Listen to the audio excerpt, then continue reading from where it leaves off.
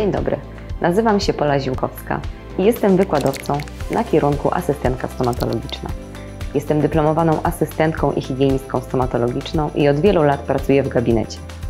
Podczas roku nauki w szkole dowiecie się m.in. w jaki sposób przygotować niezbędne leki i materiały w pracy w gabinecie, a także dokumentację medyczną. Asystent stomatologiczny współpracuje z lekarzem dentystą podczas wykonywania zabiegów stomatologicznych.